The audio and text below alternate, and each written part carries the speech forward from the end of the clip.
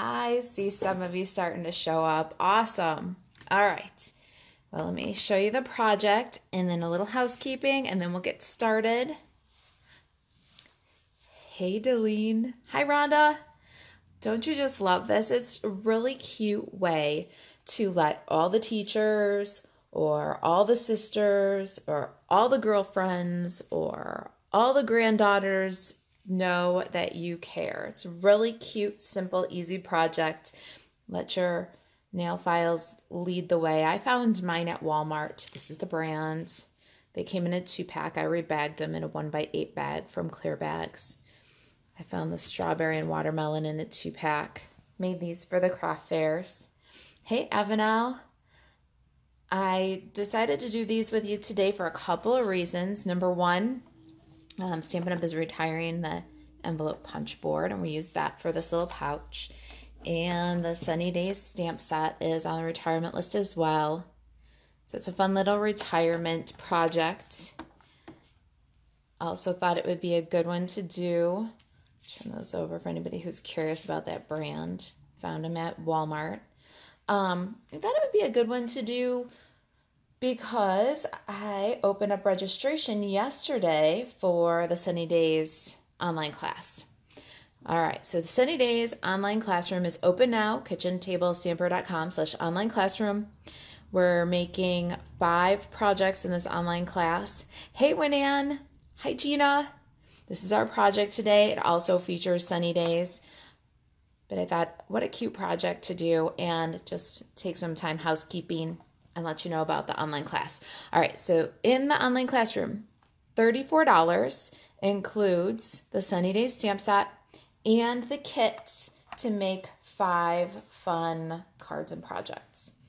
All right, so in the online classroom, we'll make this. You Can Do Hard Things card, coordinating little candy pouch, make your dreams happen, this Wishing You Success and Only the Best card, Wishing You Sunny Days Ahead card, and its matching cookie box. You can register for the online class at kitchentablestamper.com slash online classroom now through May 13th. All right, so that's the online class with Sunny Days. We're going to make this fun little nail file pouch today. And it also features Sunny Days. This is my favorite stamp set in the 2018-19 annual catalog. And I've been waiting for the weather to come around to play with this for a long time. It's really hard to um, focus on something like that in, in the fall or over Christmas time. So I've really been um, just dying to play with this one. My nail files came from Walmart. This is the brand. They were two pack Got the two fruits in one pack. I repackaged them into a one by eight bag from Clear Bags. All right. I've got um, one more bit of housekeeping while people get in here. I see you guys kind of coming and going. I hope you're not having trouble getting in and finding me. Hey, Kathy. All right, let me show you one other thing. So this is my current host code.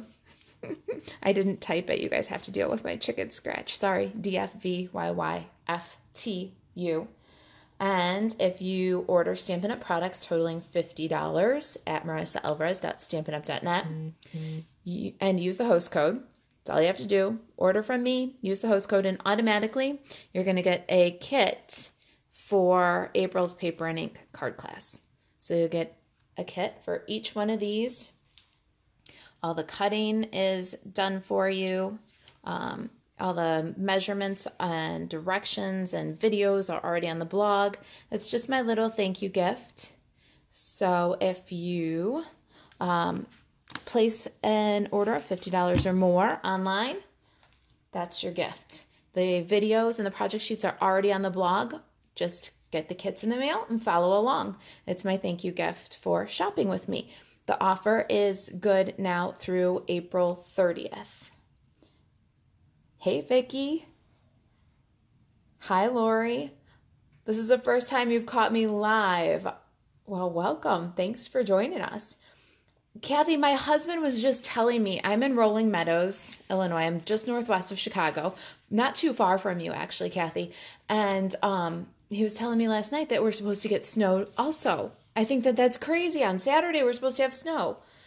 That's all right. I'll stay in and make projects with sunny days. All right, so I got quite a bit of coloring to do on these little guys for the strawberries and watermelons. So I'm going to go ahead and get started with stamping and coloring and then we'll talk a little bit more about the project. I think we'll focus on maybe the strawberry one. Maybe I'll do both. We'll see. Maybe we'll chat and but they're the same exact idea, just a little bit um, different color combination and fruit choice. But I'm going to start with those. And uh, let me just pull these aside. I'm going to grab my let's talk about what you need for this project, shall we? Let's let's put first things first. So Sunny Days stamp set, it's an 11 piece uh, clear mount stamp set. I've got my envelope punch board.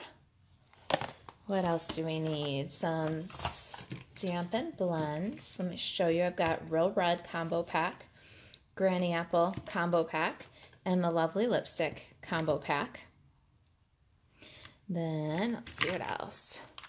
Um, Stampin' Pad, or I should say ink for this project, Tuxedo Black Memento. You need your Starburst punch and two inch circle punch. And then let's see, my nail files came from Walmart. I have some designer series paper here that is from the celebration paper.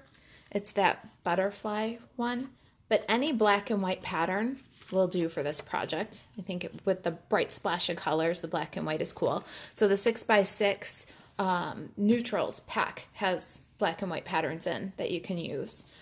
I've got some cardstock in real red and granny apple green. These are just scraps for the starburst, depending on which combination you're making. Okay, and then depending on which combination you're making, I got some strips of cardstock here. This is Berry Burst, and this is Granny Apple Green. These pieces are two inches by 11 inches, okay?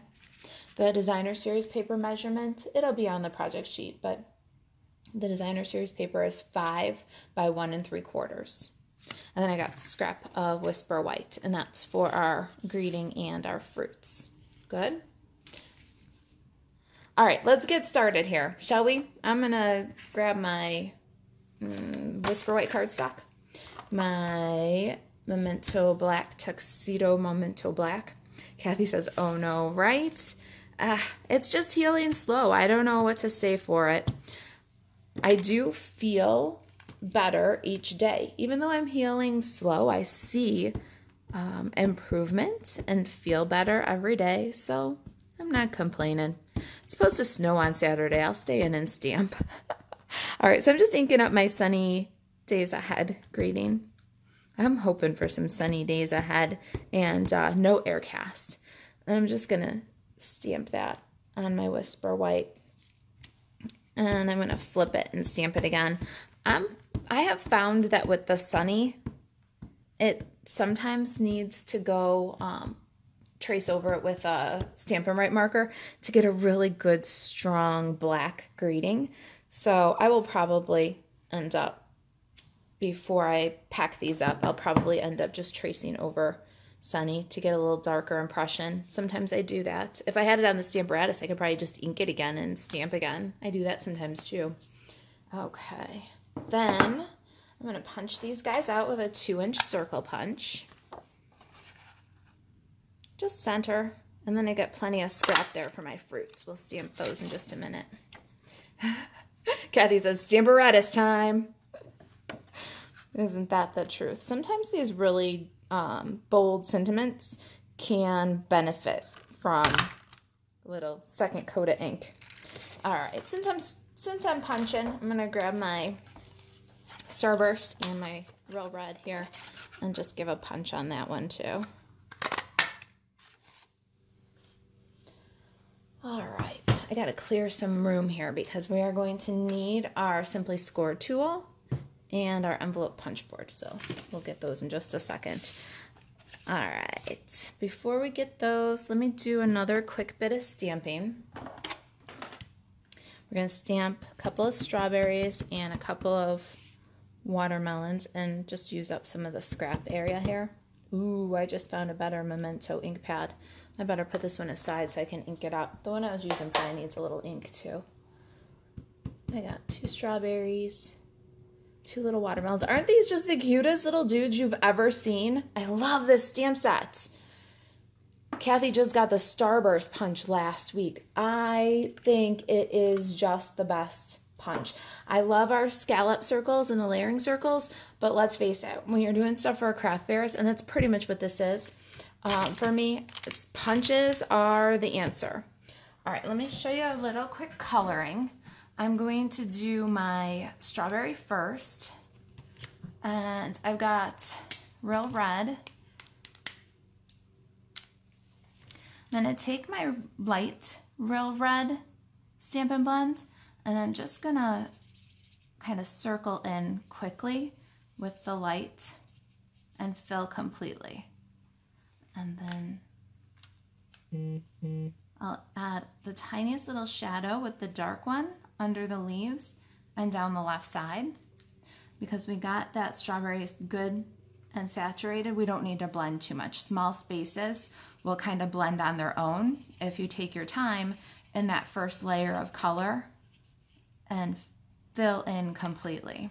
So same thing, just a little bit of a line underneath the leaves so it looks like a shadow and then down the left side. You can trace where the two shades come together with the lighter one, but in such a small area it won't really be necessary. For my watermelons, I did kind of the same idea Light Lovely lipstick and the darker one.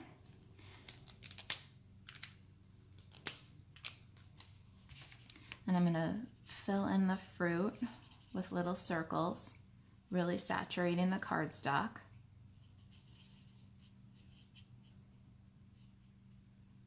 And then I'm going to go straight down the left side here with just a little shadow where the two shades meet. I'll just swipe over with the light. Pretty simple coloring. I love simple coloring, but really effective. I think you get a lot of pop from these little fruits. All right, I found that the Lovely lipstick kind of needed that touch where you blend the two shades together, but the real red ten tended to kind of melt into it, the two shades together. All right, and then the leaves and the rinds on the watermelon are granny apple. So for my leaves on my strawberry, quick color in with the granny apple. It's such a small area that you could leave it that way if you want to, or just with little swipes of the darker shade radiate out from the center on the leaves. And then for the watermelon, I colored in completely with the light granny apple. And then I swiped down the sides with the dark and then kind of dotted across that center where the artist drew in some lines. I think it looks pretty good watermelon skin. All right, and then one more time. Do you guys like to color? I love to color. It's relaxing plan on doing a little bit of it this afternoon and this weekend. All right, so there's my fruits. Now let's do the little treat pouch here. We're gonna need our Simply Score tool and we're gonna pop these guys in on the 11 inch side. Gonna score at three and one eighth and at three and a quarter. That's it. Barbara loves to color, especially with blends. Me too. They make everything look just so smooth.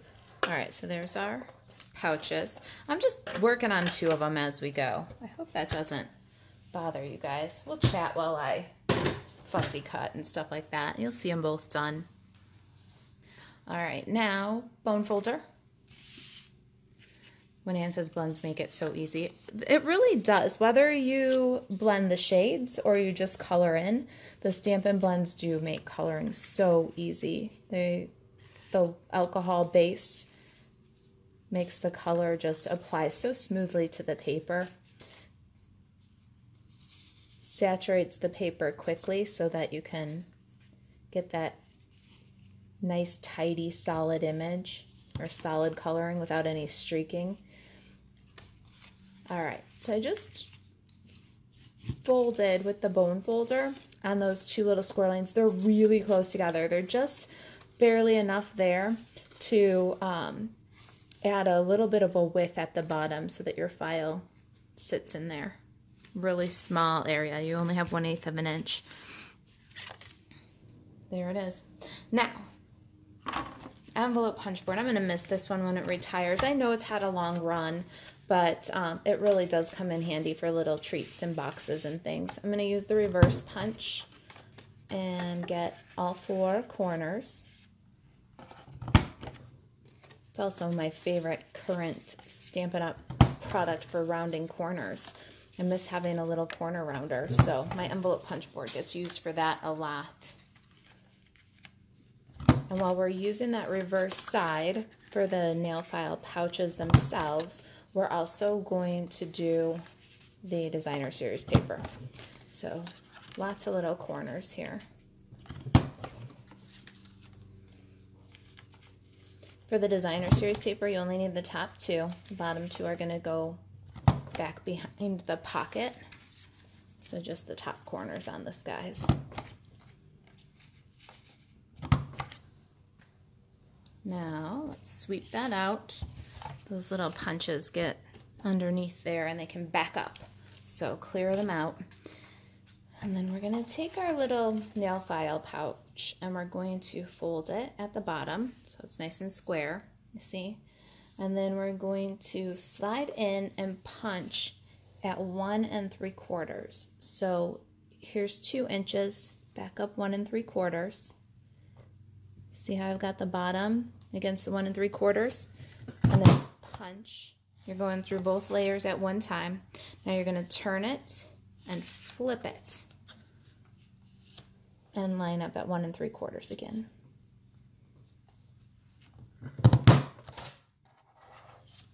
And there's our little nail file pouch. So got my black and white designer series paper. You can use one of your choice. I'm using my leftover from Celebration. We'll just add our designer series paper. I'm also going to use some ribbon from a previous project. I got this thin sheer stuff. It's white organdy ribbon with a black edge. I had some with black polka dots too left from another project. Any white, black, black and white combo, something narrow that you have, we'll just tie these little pouches closed. I like to do a nice big bow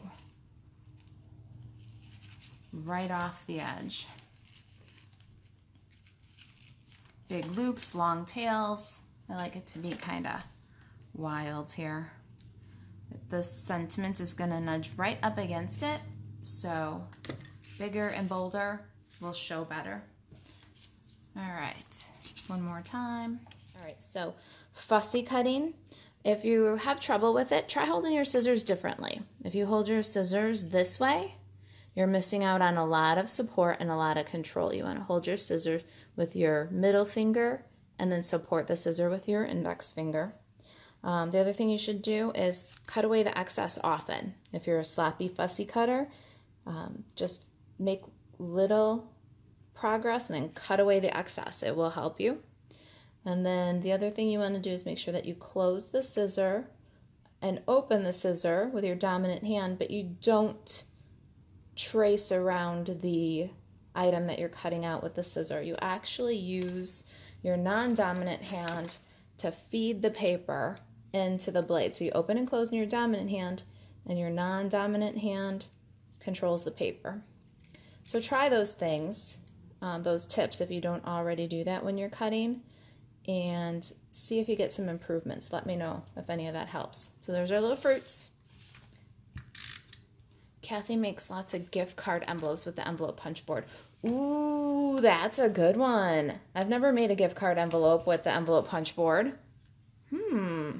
Sounds like a good one for craft fairs too. I seem to have lost my little green Starburst punch out. Ah, there it is. I was going to ask if anybody see it, but I got it. Lynn says really cute. Thank you, Lynn. All right, so I'm just putting my sentiment onto the Starburst with some snail. Hmm. At this point, I'd probably take my Stampin' Write marker and go over Sunny Days, but I'm not exactly sure where it's at. It's still, ah, look at that, it's sitting right next to me. So I'm gonna do that. Do you guys do this sometimes too? Grab your fine point of the Stampin' Write when something's just not quite dark enough. I love that you can. I love that Stampin' Up! has Stampin' Write markers to coordinate with every ink pad. So when you don't get that perfect impression, you can go back and give it a little touch up. And all I'll do is just fill in and I'll show you the difference. If I was smart, I would have had it on my Stamparatus because I know that this Sunny, I've done enough of these. Sunny is sometimes not quite dark enough for my liking. There. Now, does the camera even show you the difference between the two? There. Just a little bit. This one's just a little bit more solid. Makes me happy. Am I too rigid? All right. So then these little dudes are going to go on to the pouch with dimensionals. And I found really that if I just took one split in half above and below the ribbon, that was sufficient. And then I really budged that sentiment right up to the knot of the ribbon. The knot I push all the way off the side and the sentiment I'm going to center right over the ribbon. I like how it kind of peeks out. Now for my fruits. Super simple. One with multi-purpose liquid glue or a little snail. So I got my question is do I have the one that was flowing or the one that was clogged?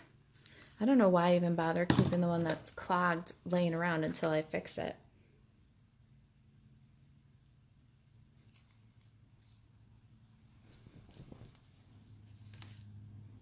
There we go. A little bit of multi-purpose liquid glue. We'll put the first one on flat.